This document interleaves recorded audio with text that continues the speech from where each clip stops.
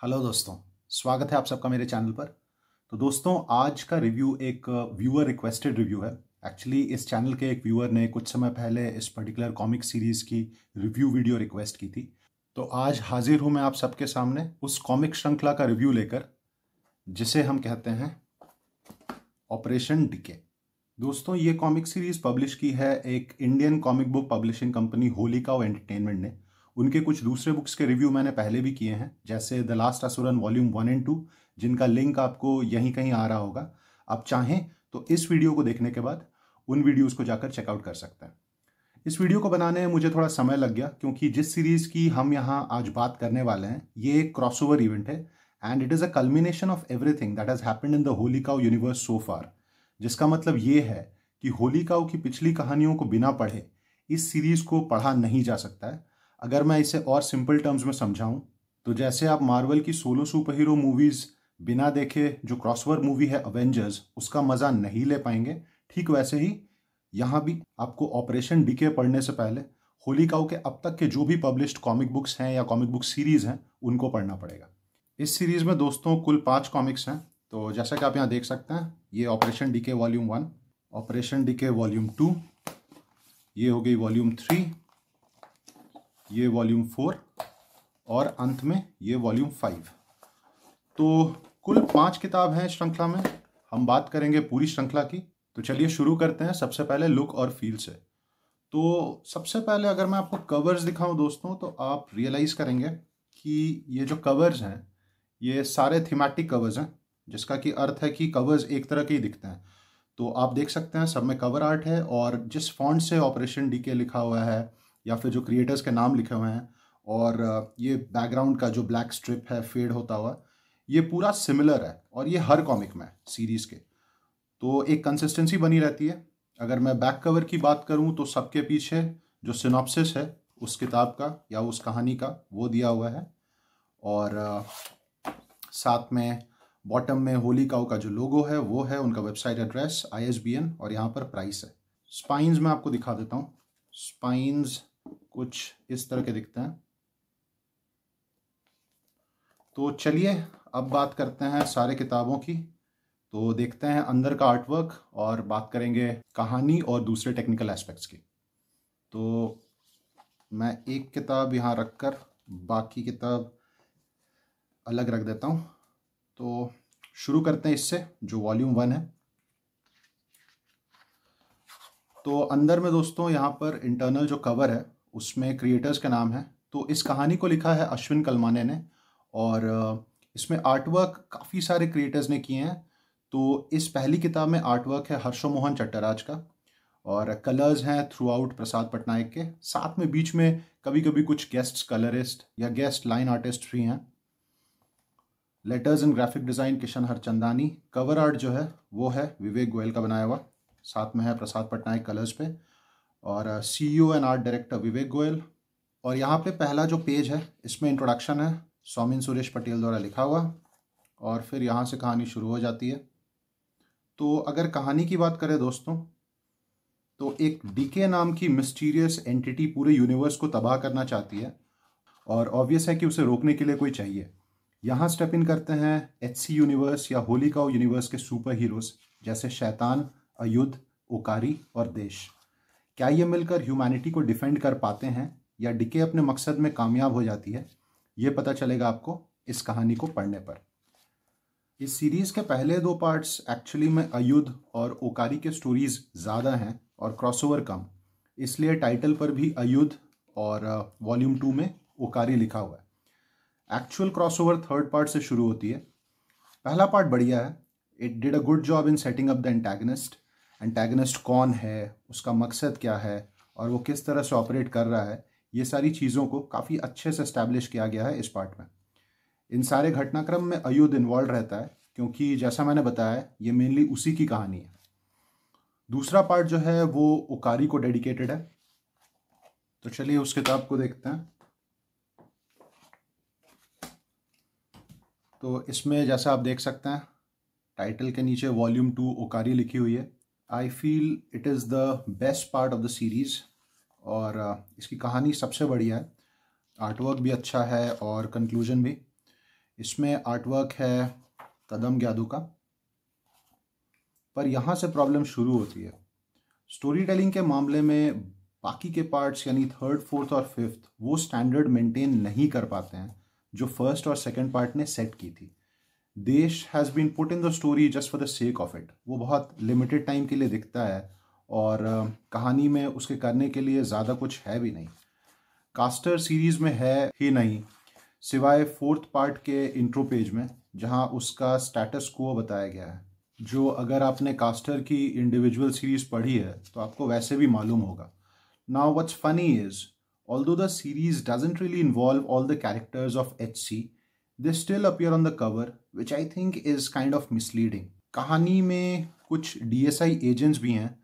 Now D S I वो organisation है जो इन सारे सुपर हीरोज को हायर करती है इस एंटिटी के अगेंस्ट लड़ने के लिए अर्थ को डिफेंड करने के लिए। और इन सारे ही एजेंट्स का जो इंट्रोडक्शन है, वो थोड़ा रश्ड है, जिससे कि आप इन लोगों से कनेक्ट नहीं कर पाते हैं। एक चीज़ और जो मेरे लिए अभी तक मिस्ट्री बनी हुई है, वो ये कि डीएसआई को कैसे पता चलता है कि डीके को रोकने के लिए उन्हें एक्चुअली में करना क्या है। कहानी का villain threatens to wipe off all of existence however the kind of tension that one would associate with the story वो कहीं ना कहीं मुझे मिसिंग लगी है। पार्ट्स फोर और फाइव की अगर बात करें तो उसमें एक्सटेंडेड एक्शन सीक्वेंसेस हैं और स्टोरी बहुत ही कम।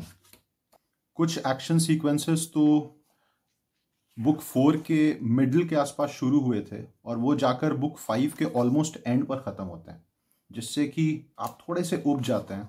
मतलब आपको ऐसा फील होता है कि ये एक्शन जल्दी से ख़त्म हो और आगे के इवेंट्स जो हैं वो जल्दी जल्दी घटें। जिस तरह से कुछ विलन्स मरते हैं, वो भी काफ़ी क्लीशे है, पुरानी बॉलीवुड फ़िल्मों की तरह। और कहानी इस चीज़ को अक्नॉलेज भी करती है। अगर आर्टवर्क की बात करें दोस्तों तो आर्टवर्क काबिल तारीफ़ है। जैसा मैंने आपको पहले ही बताया कि इसमें काफ़ी सारे आर्टिस्ट्स ने काम किया है।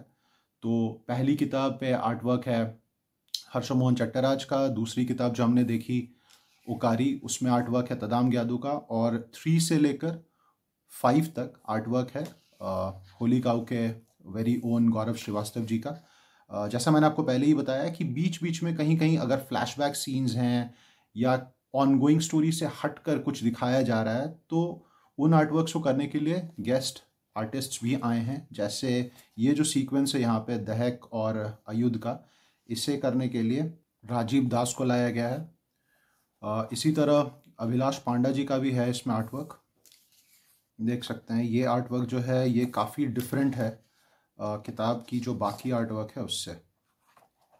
आप खुद ही कंपेयर कर सकते हैं इस आर्टवर्क से। चलिए, चौथी किताब देख लेते हैं।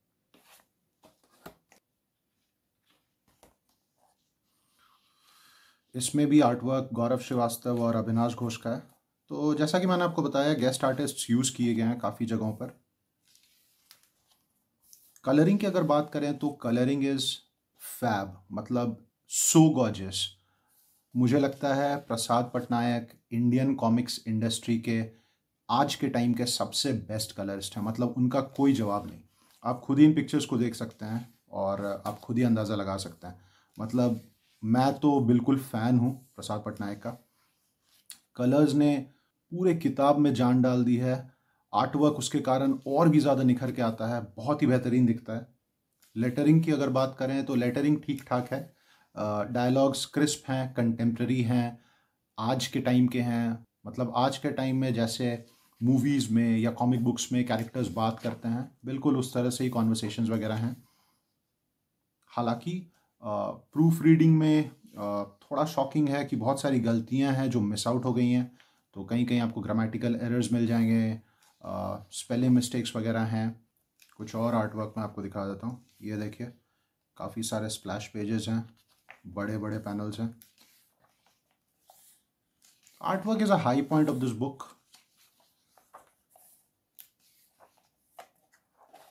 ये देखिए जो एक्सटेंडेड फाइट सीक्वेंसेस की मैं बात कर रहा था आ, ये वही फाइट सीक्वेंस है। तो ये बेसिकली बुक फोर में स्टार्ट हुई है ऑलमोस्ट किताब के मिडल से और ये पूरी चलती है बुक फाइव के एंड तक। तो चलिए लास्ट पार्ट देख लेते हैं।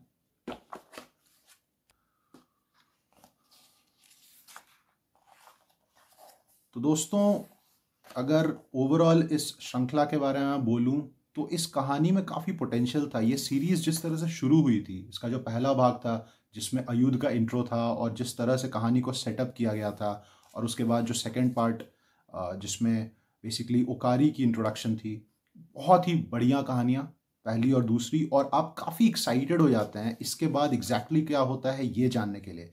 क्योंकि ऑपरेशन डी के जो क्रॉसओवर इवेंट है, वो एक्चुअली थर्ड पार्ट से शुरू होती है बट फॉर सम रीजन तीसरे भाग के बाद से कहानी बहुत लैकलस्टर हो गई। चौथे भाग तक आते आते आप रियलाइज़ करते हैं कि अब कहानी रह ही नहीं गई है। It's just action that's happening non stop characters एक के बाद एक विलन uh, से लड़ रहे हैं। एक के बाद एक ईविल uh, एंटिटीज आ रहे हैं और सुपर uh, हीरोज उनसे फाइट कर रहे हैं। बट कहानी बिल्कुल से ख़त्म हो जाती है। तो जो बिल्डअप वन और टू में किया गया था वो सडनली थ्री के बाद से कहानी उसको जस्टिफाई नहीं कर पाती है। और जब आप इस सागा के एंड तक पहुँचते हैं कंक्लूजन तक पहुँचते हैं तो आपको अंडरवेलमिंग लगता है। आ, मैं बहुत ज़्यादा हार्श नहीं होना चाहता बट मुझे जो लगा वो मैंने कहा। तो अगर इसका वन लाइन रिव्यू मुझे देना हो तो मैं यही कहूँगा operation DK could have been much more and it is an opportunity that I feel went wasted. However, uh, it's still one of its kind crossover event in Indian comics और uh, मैं समझता हूँ कि पहली दो कहानियाँ जो हैं वॉल्यूम वन की और वॉल्यूम uh, टू की और उसके बाद जो आर्टवर्क है कंसिस्टेंट बढ़िया आर्टवर्क और ऑफ़ कोर्स द कलरिंग इन सब चीज़ों के लिए आप इस श्रृंखला को ले सकते हैं पेजेस की अगर बात करूँ तो 75 टू 100 पेजेस के बीच में आ, सारे किताबों में पेजेस हैं। तो बेसिकली अगर आप सारे पेजेस को जोड़ेंगे तो this story spans over 400 pages और आ, अगर मैं प्राइस की बात करूँ तो हर कॉमिक बुक का प्राइस है 699 मतलब 700 हंड्रेड रुपीज़ अप्रॉक्सीमेटली आप अगर होली काउ के वेबसाइट से परचेज़ करते हैं तो आपको कुछ डिस्काउंट में मिल जाएगा। और बताना चाहूँगा, ये जो कवर्स आप यहाँ देख रहे हैं, ये सारे नॉर्मल कवर्स हैं मतलब ओरिजिनल कवर्स हैं। इसके अलावा इन सारे कॉमिक्स के वेरिएंट कवर्स भी हैं, जो अगेन आप होली काउ के वेबसाइट पर जाकर परचेज कर सकते हैं। वेरिएंट कवर्स का जो प्राइस है, वो नॉर्मल कवर से थोड़ा ज़्यादा होगा। So that was my review of operation DK the big crossover event from Holy Cow Entertainment अपने कमेंट से मुझे ज़रूर बताएँ कि आपको ये वीडियो कैसा लगा। और अगर आपको इस तरह का कंटेंट पसंद आता है तो चैनल को सब्सक्राइब करना ना भूलें। अब मुलाकात होगी आपसे एक दूसरे वीडियो में। तब तक के लिए take care of your selves and bye